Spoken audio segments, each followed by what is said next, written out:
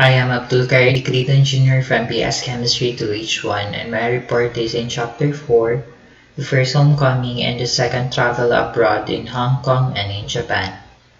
Results first homecoming. Rizal's plan of coming back home. As early as 1884, Rizal wanted to go back to his native land which is the Philippines for the following reasons. Financial difficulties in Calamba, dissatisfaction with his studies in Madrid, and decided to prove that there is no fear going back home, and he believed that the Spanish regime will not punish the innocent. First homecoming. Rizal was warned by his friends not to go back to the Philippines because of his novel. His novel actually angered the friars and his friends know that. But Rizal is determined to go back to the Philippines because of the following reasons. First is to operate his mother's eye, which is his which is the reason why he studied in Madrid, and to serve his people who had been oppressed by the Spanish tyrants, and to find out how his writings affects the Filipino Spaniards, and lastly, Leonor Rivera, which is his lover in the Philippines. In 1887, on July 3, he boarded the steamer Djemnah from a French port he boarded a steamer, and it sailed to the east through the Suez Canal and reached Saigon on 30th of July. And after that, he took another steamer, which is the Haiphong, to reach the Manila, Manila rather, on August 5. After meeting his friends in Manila, he decided to come back to Calamba on August 18, 1887. He treated then his mother's eyes and because of that uh, he made a lot of money because a lot of people from different places flocked to him for a better vision. His mother actually, his mother which is Teo, uh, Doña Teodora, was his first patient. And there was a rumor that he is a German spy and he was dubbed as a dubbed as a Dr. Uliman or the German doctor. Uliman, Uliman is from the word Aleman which means German. While he was in Calamba, he painted some several beautiful landscape and translate some German poems and built gymnasium for younger people and he also introduced some European sports such as fencing and shooting to discourage the people from the cockfighting and gambling. His novel, The Noli, was a containing subversive ideas. Rizal was then requested by the Governor General Emilio Terrero to explain his novel. Um, then explained to the General, Governor General rather, that Noli exposed the truth but did not advocate submissive ideas, subversive ideas rather.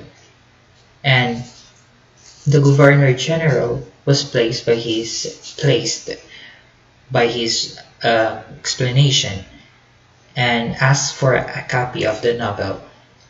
The Governor General then assigned a bodyguard to Sarisol which is Don Jose Taviel Andrade to protect him from his enemies because the Governor General knew that there is some enemies, enemies rather, that surrounds Rizal that are plotting some, uh,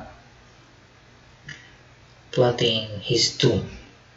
And the Noli actually has some defenders and attackers. The defenders are some friends of Rizal, which is Marcelo H. del Pilar, Gra Graciano, Graciano Lopez, Antonio Maria Regidor, Mariano Ponce, Father Francisco de Paula Sanchez, Don Sigismundo Moret, Professor Miguel Morayta, Professor Ferdinand Blumentritt, and Father Vicente Garcia. Some of them actually was met by Rizal abroad and of course the attackers are of his novel are Archbishop Pedro which is the which is the one who sent a copy to the University of Santo Tomas to examine his novel.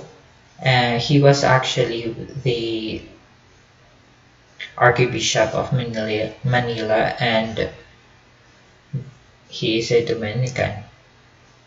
Vicente Barrantes is one of those who criticize the novel of Rizal and according to the findings and reports of the University of Santo Tomas, the novel actually contains anti-patriotic and scandalous and subversive ideas that is against to the church and the Spanish.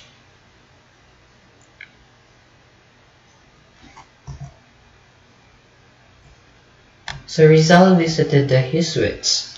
He visited Jesuit father, fathers to ask for their feedbacks on the novel. He was gladly welcomed by Father Francisco de Paula Sanchez and Father Jose Bech and Father Federico Faura. After reading the novel, Father Federico Faura warned him that he might lose his sight because of his novel because it contains some truth. On December 1887, the Calamba Fox asked Rizal's assistance in collecting information as regards to the Dominican Hacienda management. And Rizal, of course, agreed with that and he objectively reported that, uh, that the Dominican order had arbitrarily increased the land rents and charged tenants non-existent agricultural services. The friars was enraged of Rizal's report and they pressured the Governor General to advise Rizal to leave the country. And that was the cause of Rizal leaving the country for the second time. And he's also the way to start another adventurous journey. And that's the second travel abroad. And Rizal actually stayed in the country for six months, but he failed to visit his girlfriend Leonor Rivera because his her parents parents actually pervade uh, Rizal because they don't like him.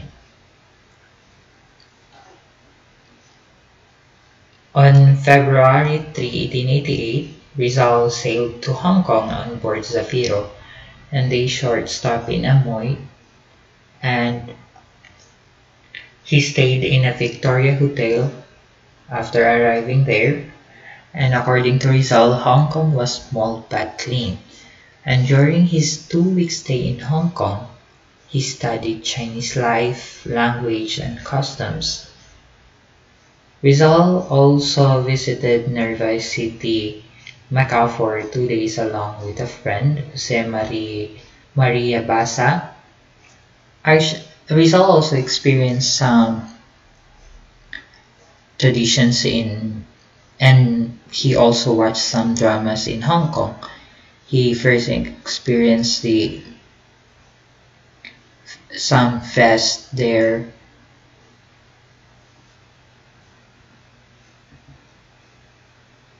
Rizal in Japan on February 28, 1888, Rizal reached Yokohama, Japan and Tokyo the, the next day. Juan Perez Caballero invited Rizal to live in a Spanish legation and that's when the time Rizal Rizal knew that he is being eyed by the Spanish government.